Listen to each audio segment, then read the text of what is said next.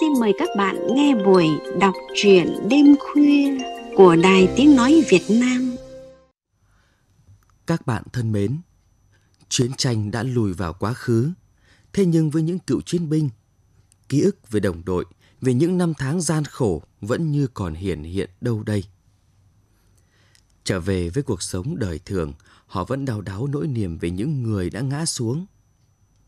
Chuyện ngắn Khi người lính trở về của tác giả Đức Giao dựng nên chân dung người cựu chiến binh với những nét chấm phá khá ấn tượng. Qua giọng đọc Vân Anh, mời các bạn cùng nghe chuyện ngắn này.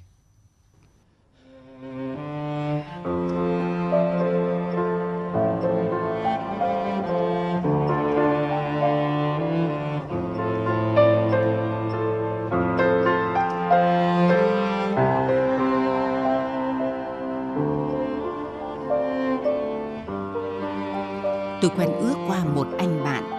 Quý nó ở cái tính chân thật thẳng thắn bộc trực.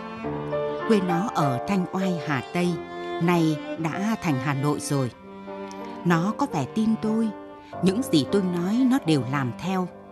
Mấy lần nó mời tôi về thăm quê Nói đúng hơn là mời về uống rượu Với những món quê ở trang trại nhà nó. Thêm nữa là gặp, nhờ, động viên bố nó một con người gàn gàn như nó kể qua nhiều câu chuyện. Ước nghe điện thoại liền ra đón tôi vào trang trại. Nó hỏi anh có muốn đi xem một phòng hay thích đi câu cá? Tôi bảo, câu cá thì cũng thích đấy, nhưng trước hết vào chào ông cụ rồi ngắm nghía công trình của cậu sau. Ước rùa tay. Trang trại này không phải của em, tất cả là do công sức bố em gây dựng từ mấy chục năm nay. Bây giờ em chỉ là người kế nghiệp thôi Mà bố em ở nhà trong làng cơ Dạo này cụ ít ra đây vì đang dồn hết thời gian tâm trí vào một việc mà cụ ấy bảo là quan trọng cuối cùng của cụ. Đó là hoàn thành bức tượng gỗ ạ. Tôi ướm lời. Hay là ta vào thăm cụ trước? Vâng, thế cũng được ạ. Vào đến cái sân gạch hẹp chắc đã xây từ lâu, nhiều viên đã vẹt mòn. Ước kêu to. Bố ơi, nhà mình có khách. Không có tiếng trả lời. Tôi đứng tần ngần ngoài sân, còn ước thì đi vào nhà rồi chờ xa. Chỉ vào phía trong nói nhỏ. Ông cụ đang trầm tư với pho tượng. Rồi kéo tay tôi vào nhà. Qua cửa bên hông, đi ra trái nhà hình như mới làm thêm vì nền đất còn mới. Tôi rụt rè đưa mắt nhìn ông già đang lặng lẽ ngồi trên chiếc chiếu trước pho tượng đang đẽo dở. Xung quanh ông có vài ba pho nữa, cái to cái nhỏ, cái đã rõ đường nét, cái còn đang dở sang ở dạng hình khối. Trước mặt ông là một đống tràng đục rùi cui đủ cỡ. Nhiều trước còn bóng nước thép Ước xuống bếp đun nước pha trà. Tôi định quay ra theo ước để ông tiếp tục dòng suy nghĩ của mình, thì bất chợt ông ngừng lên nhìn tôi với cặp mắt của người như từ cõi khác trở về. Tôi khẽ khàng ngồi xuống bên ông. Cháu chào bác ạ. Ông già gật gật đầu rồi xoay mặt trước của bức tượng cạnh ông về phía tôi nhưng không nói gì. Tôi đã nghe ước kể Làng này có nghề chạm khắc gỗ. Bản thân ông bố, tức là ông già đang ngồi đây, cũng được truyền nghề từ nhỏ cho đến trước khi đi bộ đội. Nhưng khi phục viên quay về làng thì không theo nghề này nữa, mặc dù nghề này đang vất lên từ hơn chục năm nay. Năm 1973, ở tuổi 25, khi ông về làng, đất của hợp tác xã chưa có người làm còn nhiều. Đi hết một vòng chào bà con trong làng, Buổi tối khi mọi người đến trò chuyện hỏi thăm đã vãn, ông xin hợp tác xã cấp cho khu năn lác ở giữa đồng dựng lều làm vườn. Tuy vốn là con nhà nông nhưng chưa biết nhiều về nông nghiệp, ông đến các nhà bậc lão nông chi điền học hỏi kinh nghiệm. Lần mua sách dạy cách trồng cây nuôi gia súc, lên huyện tìm nhờ cán bộ nông nghiệp hướng dẫn xây dựng mô hình vườn ao chuồng. Không có vốn, ông tự mình ngày qua ngày làm hầu hết mọi việc. Lâu lâu có bạn bè bà con đến giúp làm những việc lớn như đào ao, vật nền làm nhà, tôn vườn. Làm hết buổi thì về, bữa nào lo được thì có rổ khoai, rổ sắn, nồi nước chè xanh. Sau này khi vườn có nguồn thu, ông tích góp trả tiền công cho người đến làm hoặc lo cho họ bữa trưa bữa tối. Khi về, mỗi người còn có quả bòng nải chuối, túi khoai sọ, con cá sách tay. Đến giờ thì khu vườn của ông đã trở thành trang trại. Cây ăn quả có người đặt mua khi mới đơm hoa. Cá dưới ao có người đặt tiền, tự thuê máy bơm đến tát, thuê người đến bắt, chở đi đổ cho các chợ đầu mối. Vịt gà ngỗng hàng trăm con, lợn và chó có cả hàng đàn. Đã đến lúc âm nhàn, cả làng khâm phục. Hội cựu chiến binh bầu ông làm chi hội trưởng. Người làm trong trang trại của ông chủ yếu là người nghèo và những người đã từng đi bộ đội. Có người còn khuyên ông đặt tên treo biển cho trang trại của ông là trang trại cựu chiến binh hay là trang trại từ thiện. Ông cười. Khi nào ông chết, ông sẽ di chúc lại cho ước làm điều này, với điều kiện hàng năm trích mấy chục phần trăm số tiền thu được để giúp cho các cựu chiến binh và quỹ từ thiện của xã. Hơn 50 trai làng đi bộ đội chống Mỹ lớp trước lớp sau, hơn hai chục người trở về, người nguyên vẹn, người thương binh, ốm đau bệnh tật, bây giờ chỉ còn non 10 người, còn gặp được nhau, còn uống được rượu. Ấy là có lần ước kể với tôi như thế. Ông già lại xoay bức tượng về phía mình. Anh à, cậu này hy sinh nhưng tay vẫn ôm ghì khẩu súng. Cậu ấy thuận tay trái. Anh có thấy bàn tay trái của cậu ta làm gì không? Cậu ấy đang ôm lấy vết thương ở ngực với bức thư của người yêu trong tay đấy. Anh xem, tôi đã phá tốn bao nhiêu gỗ mới nảy ra ý để đẽo thành bức tượng này.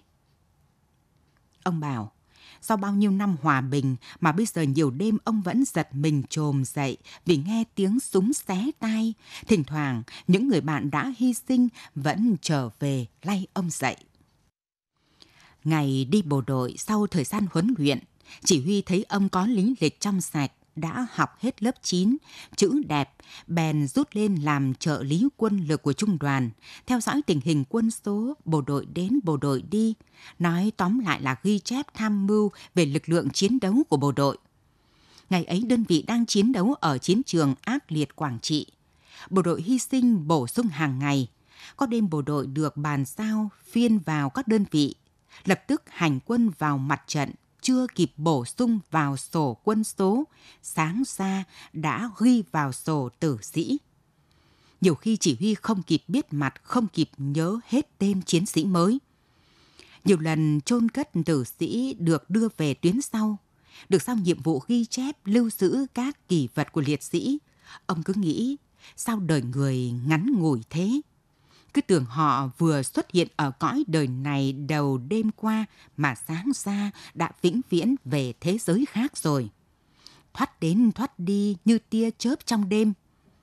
Miền Trung ngày hè thường có sấm chớp. Ông bảo mỗi lần mưa rào, sấm chớp, ông cứ nghĩ linh hồn các liệt sĩ vừa ngã xuống, đang gầm thét rạch trời, đòi xé toang những mảng mây đen để siêu thoát. Nói đến đây, mắt ông ánh lên. Phải khắc thật kỹ ánh mắt của cậu ấy, ngước lên nhìn trời như đang chờ mưa sông sấm chớp. Cậu ta là người làng này anh ạ. Đi bộ đội năm 1968, sau tôi gần một năm, hy sinh năm 1972 ở Quảng Trị. Chính tay tôi đã chôn cất cậu ta. Ông vồ lấy chiếc đục lưỡi nhỏ như ngòi bút, vừa nhẹ nhàng đưa tay mài, vừa dì xà kể như cho mình nghe. Ngày tôi nhập ngũ, tôi thầm hứa hẹn với một người con gái cũng ở làng này. Tên cô ấy là Sáng. Chỉ là hứa thầm sẽ yêu nhau, sẽ chờ nhau cho đến ngày tôi về, vì ngày lên đường vội quá, không kịp thưa với hai gia đình. Tôi vào chiến trường làm cán bộ quân lực như anh biết đấy. Khoảng một năm sau, trong một đêm đón quân bổ sung, tôi gặp Tài là hình mẫu cho bức tượng này đây. Cậu ấy kém tôi khoảng vài ba tuổi. Tôi đoán thế vì hồi ở làng tôi có loáng thoáng biết cậu ấy qua vài trò chơi trẻ con. Hôm bàn giao quân vào mặt trận, cậu ấy nhận ra tôi. Hai đứa kéo nhau ra bờ suối ngồi suốt đêm. Nghe cậu ấy kể chuyện quê nhà, chuyện về mối tình trước khi lên đường nhập ngũ. Rằng mẹ cậu ta đã sắp cơi trầu sang nhà cô Sáng, xin cho hai gia đình đi lại khi cậu ấy vào chiến trường. Bố của Tài cũng là bộ đội kỳ cựu, đang đi sâu vào phía trong Nam ngồi nghe Tài nói chuyện bên con suối sóc sách chảy mà lòng tôi rũ rượi. Sao lại thế nhỉ? Sáng đã hẹn tôi ngày trở về cơ mà. Hẹn nào mà có đến gần nửa năm tôi không có thư của Sáng. Khoảng một tháng sau khi tôi gặp Tài, tôi nhận được thư của Sáng. Cho đến bây giờ tôi còn nhớ từng chữ từng câu. Anh ạ, Hôm vừa rồi, trước khi anh Tài nhập ngũ, nhà anh Tài sang nhà em dạm ngõ. Mấy hôm trước, khi mẹ bảo nhà anh Tài có ý thế, em đã khóc mấy ngày. Thưa với mẹ là em đã nhận lời với anh rồi. Nhưng mẹ bảo, hai đứa hẹn với nhau nhưng xóm giềng không biết. Đi giết giặc thì ai cũng đáng mặt trai nhà anh Tài đã có nhời với mẹ mà mẹ từ chối thì có tội với làng nước xóm giềng bà con. Anh ạ, à, em thương mẹ em lắm. Bố em mất từ khi em còn nhỏ, mẹ ở vậy nuôi em. Vì vậy, em đành coi như phụ anh, tuy rằng em vẫn yêu anh. Anh đừng trách mắng em nhé, biết khi nào các anh trở về. Sau đêm ngồi với nhau bên bờ suối, Tài đi vào chiến trường. Tôi không viết thư cho sáng nữa. Vẫn còn nhớ nhung, pha lẫn đôi chút giận. Nhưng sâu xa hơn, tôi không nỡ dành tình yêu với Tài khi nó đang đi vào chiến trường ác liệt. Quân ra quân vào, tôi vẫn hỏi tin tức của Tài, biết trai làng mình vẫn chiến đấu anh dũng nhiều lần lập công.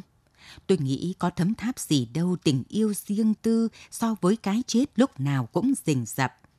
Chưa kể lúc xung phong bám trụ trước làn đạn như mưa, những lúc hành quân bị bom dài thảm mà còn mìn cài, pháo lạc. Bị phục kích lúc đi lấy gạo, lúc chuyển thương binh. Cũng có khi tôi tự hỏi, nếu tôi và Tài còn sống sót cùng về làng, thì sáng sẽ ra sao? Tôi sẽ làm gì Tài sẽ thế nào cho phải phép, cho xứng đáng với những ngày tháng ở chiến trường, cho xứng đáng với những đồng đội đã nằm xuống. Nhưng thú thật với anh, cứ mỗi lần ghi danh sách bộ đội vào mặt trận, ghi tên những người hy sinh, tôi lại thấy tất cả mọi thứ đều không đáng gì, thậm chí là vô nghĩa. Cùng thời gian ấy ở trung đoàn bộ, tôi có một thằng bạn thân anh ạ. Cậu này tên là Vọng, người Hải Phòng. Nó đã học xong cấp 3 trước khi vào bộ đội. Đồng đội cùng quê kể chuyện. Vọng học giỏi nổi tiếng.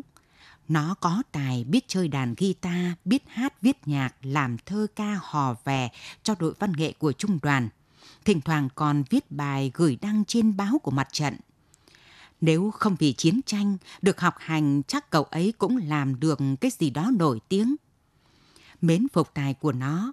Khi có ấm chè ngon điếu thuốc lá thơm chỉ huy cho, tôi gọi nó cùng uống cùng hút. Nhưng có một lần chỉ huy giao nhiệm vụ có ý kiến về mặt trận rút nó lên làm báo, làm văn nghệ. Tôi xem lý lịch của cậu ấy, không thấy có gì nghi ngại. Nhưng cứ phân vân, sao người có tài như thế mà không đi học đại học? Trò chuyện qua những đồng đội cùng quê với Vọng, tôi nắm được thông tin Vọng có một ông bác chạy vào Nam năm 1954 khi quân Pháp rút khỏi Hải Phòng. Phần nữa cũng vì tư tưởng hẹp hòi nên xã không cho đi học đại học, cũng không cho đi thoát ly, kể cả đi bộ đội.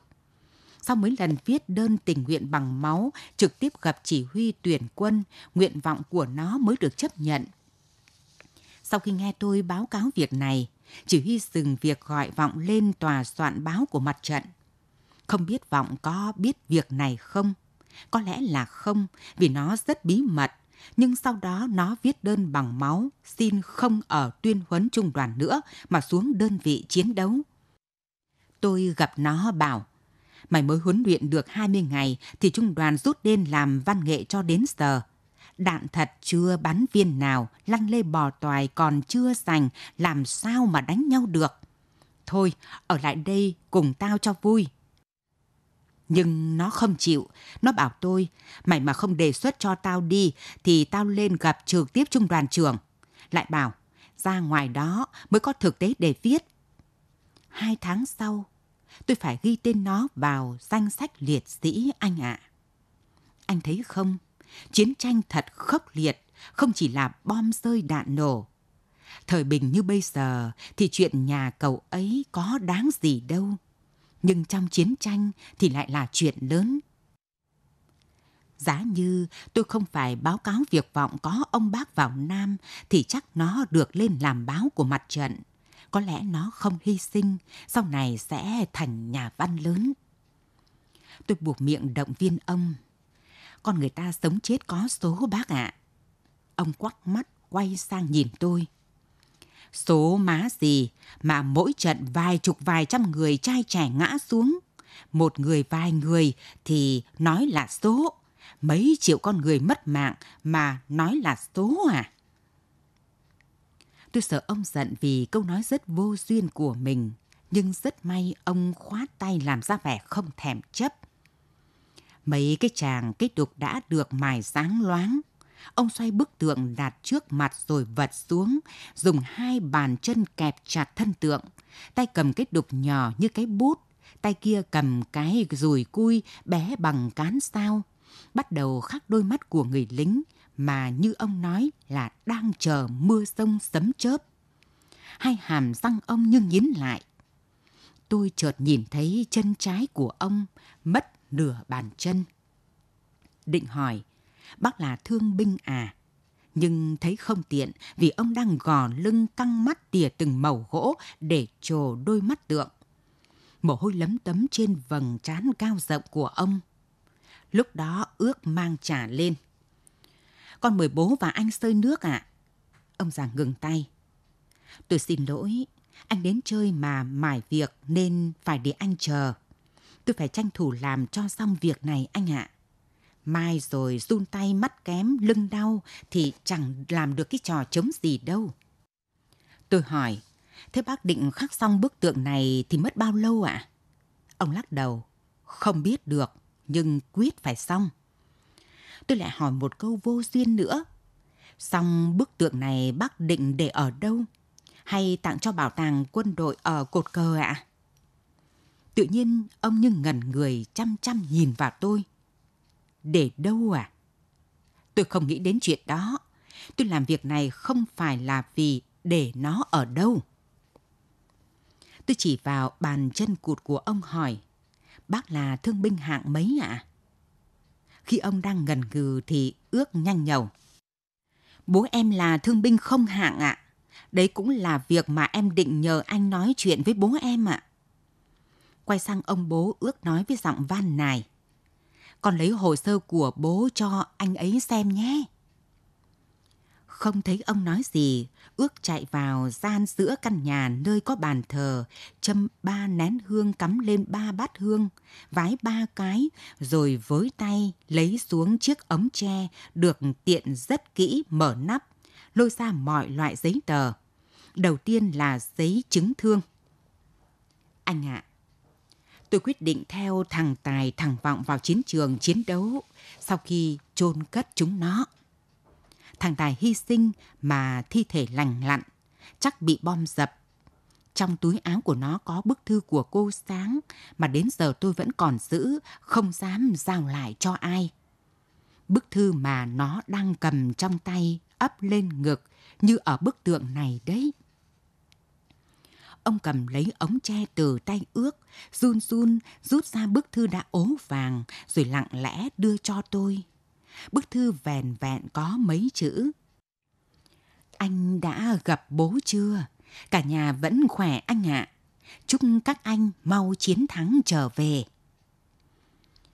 Tôi đã tìm thấy bức thư này trong túi ngực của Tài, bức thư nhầu nát, chắc Tài đọc nó nhiều lần. Nhận nha với chén trà ông kể. Tôi bị cụt bàn chân này khi tham gia trận đánh diệt xe tăng. Xe tăng Mỹ ém ra ngoài căn cứ, đào hào chui xuống chuẩn bị cho trận tấn công bất ngờ để tiêu diệt bộ đội ta vào sáng ngày hôm sau. Trinh sát ta nắm được. Độ nửa đêm, trung đoàn ra lệnh cho mấy chục tay súng B-40, B-41 bí mật bất ngờ áp sát, bắn thẳng vào những chiếc xe tăng đang ẩn náu bắn xong cơ số đạn thì khẩn trương rút vì bom pháo. Trên đường quay về, chẳng biết mảnh bom hay mảnh pháo cắt phăng mất nửa bàn chân trong khi đang chạy. Khi vào quân y viện, được chỉ huy đến thăm đọc quyết định kết nạp đảng tại trận vì đã lập thành tích bắn cháy hai xe tăng. Chỉ công bố miệng thôi, quyết định được thảo bằng tay, bào quyết định chính thức sẽ trao sau. Ước chen vào. Mãi đến năm 1980 do làm kinh tế giỏi, bố em mới được kết nạp đảng lần hai. Chuyện kết nạp đảng tại mặt trận cũng giống biệt chẳng nói với ai anh ạ. Anh xem bố em có kỳ cục không? Ông già chẳng phản ứng gì, đưa tay xoa cầm lởm chởm sâu rồi kể tiếp. Vết thương tạm lành, cầm giấy chứng thương với bức thư của sáng gửi cho Tài. Tôi theo đoàn thương binh xa Bắc, cũng không kịp xin quyết định kết nạp đảng vì cho rằng như thế cũng là một sự đòi hỏi không đáng làm. Như thằng Vọng, thằng Tài và bao nhiêu người nữa nằm xuống vĩnh viễn mà có yêu cầu đòi hỏi gì đâu. Khi tôi về làng năm 1973 thì không thấy cô sáng đến thăm. Khi đó Tài chưa được nghe báo tử mẹ của Tài đến hỏi thăm tin tức về Tài. Tôi không dám nói thật anh ạ, mặc dù tự tay mình chôn cất Tài. Bây giờ nghĩ lại không hiểu tại sao lúc ấy mình làm như thế. Có lẽ do thương Tài, thương Sáng. Cũng có lẽ do không nỡ mở miệng ra, nói cái tin chẳng có gì tốt lành là người chồng chưa cưới của Sáng, người con của bà sẽ không bao giờ trở về. Sau này cũng có lúc tôi nảy ra ý định cưới Sáng, mong được san sẻ bù đắp cho Sáng vì những mất mát do chiến tranh, cũng là thay thằng Tài làm việc ấy.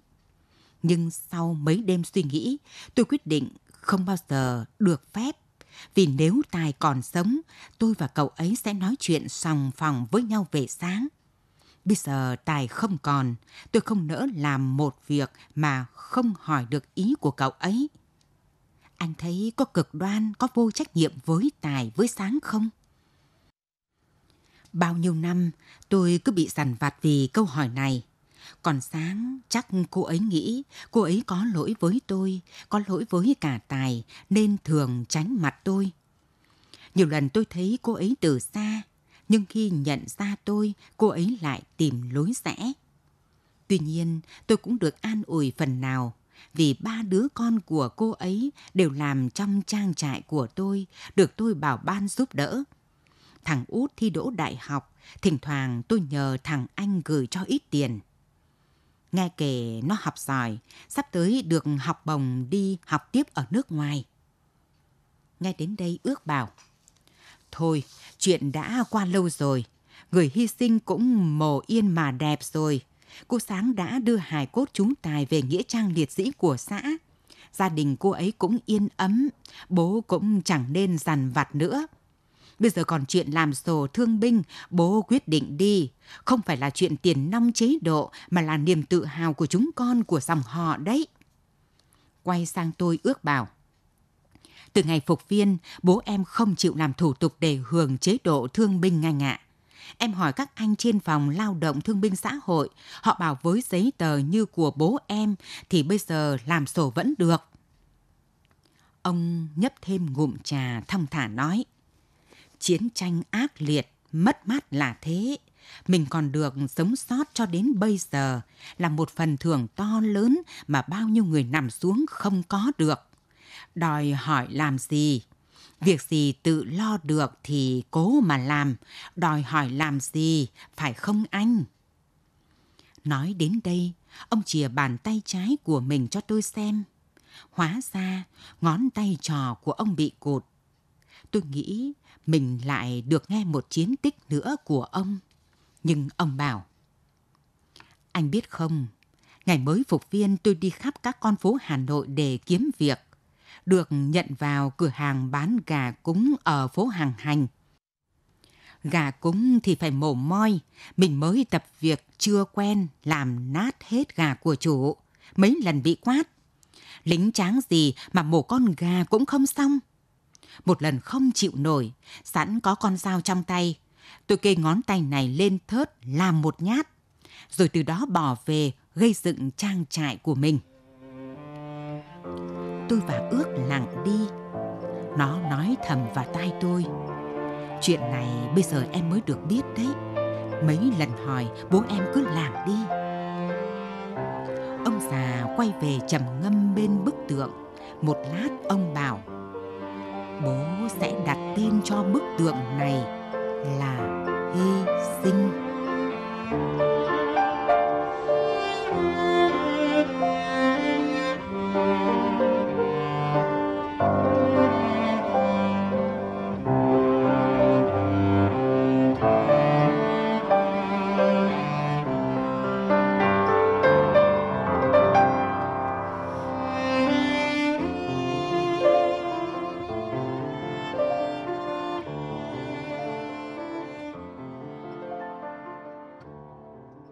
Giọng đọc Vân Anh vừa mang tới những trang truyện ngắn Khi người lính trở về của tác giả Đức Giao. Về truyện ngắn này, biên tập viên chương trình có đôi điều suy ngẫm. Mời các bạn cùng nghe. Lòng tự trọng luôn là một trong những nét tính cách đáng nể nhất của con người. Tự trọng của một người lính từng chứng kiến và trải qua những mất mát đau thương, một hoàn cảnh dễ khiến con người ta yếu đuối, lại càng là điều khiến cho mỗi người phải tự suy ngẫm để sửa mình. Tác giả Đức Giao không chỉ đơn thuần dựng nên chân dung người cựu chiến binh phấn đấu nỗ lực làm kinh tế và có nghĩa cử cao đẹp với đồng đội đã khuất. Cốt lõi của câu chuyện có lẽ nằm ở tấm chân tình của người lính cụ Hồ đầy tự trọng, không cầu danh lợi. Không ai thúc giục ông phải tạc tượng người đồng đội trong khoảnh khắc hy sinh đầy ám ảnh. Cũng không ai luận tội ông đã thực thà ý kiến về việc người đồng đội có thân nhân chạy vào Nam sau năm 1954 Càng không ai bắt buộc ông rời đơn vị quân lực ra mặt trận chiến đấu hay quyết định không gắn bó với người con gái ông yêu. Người cựu chiến binh làm tất cả điều ấy vì sự thôi thúc của lương tâm. Ông coi mất mát của bản thân là quá bé mọn so với sự hy sinh của đồng đội. Chính vì thế, ông không nhận hưởng thụ ưu đãi cá nhân, hành động đền ơn đáp nghĩa với người có công của xã hội. Với người cựu chiến binh, kỷ niệm quý giá về đồng đội, ý chí được tôi rèn qua lửa đạn, chứ không phải là tấm thẻ thương binh, là căn cước chứng minh bản thân đã từng gửi lại một phần tâm hồn và thân thể ở chiến trường. Và ông lặng lẽ giữ tất cả cho riêng mình, không hơn. Ý tứ sâu xa và cảm động ấy đã phần nào làm khuất lấp đi cách kể chuyện còn hơi thụ động và thiếu liền mạch của chuyện ngắn này.